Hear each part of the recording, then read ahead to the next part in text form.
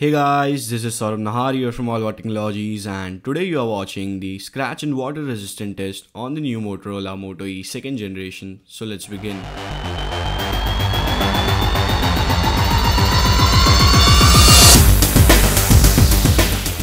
claimed on their website that Motorola Moto E second generation has a Corning Gorilla Glass 3 as well as water resistant coating and today I have a key and a scissor to scratch the Moto E second generation display which is having a Corning Gorilla Glass 3 and a glass of water.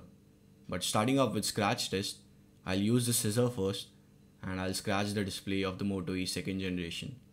And you can see it is having a sharp edge and I'm scratching the display with it but I'm unable to see any scratch marks as of now and you can see that there are no scratch marks at all on the display even if I scratched it with the pointed edges and now I'll scratch it with a key because most of the times our phone remain in the pocket with the key. And it gets some scratches if we don't have this kind of protection which is Corning Gorilla Glass. And you can see I'm scratching it with the key but still I can't see any scratches on the display. But I would advise that you will you should put a screen guard or a screen protector to protect it from minor scratches now we'll keep the key and scissor aside and we'll pour some water on the display. And you can see I'm pouring some water on the front of the phone. And due to that anti-smudge coating the water gets off of the screen.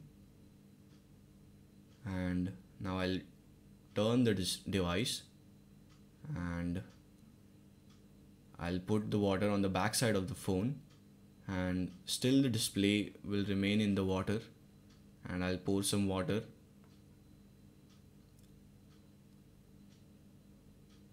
And now let's see if it is working.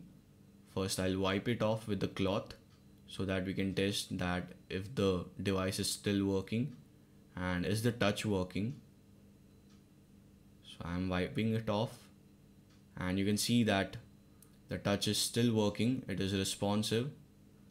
And let's play a music. So I'm playing a song. Let's play a song. And the speaker on the device is also still working. So that is really nice. And so that is it guys. Thank you guys for watching. Do hit the subscribe button to see more such videos in future. And hit the like button if you like my work. And post your comments thank you guys for watching. This is Saurabh Nahar here from All Technologies signing off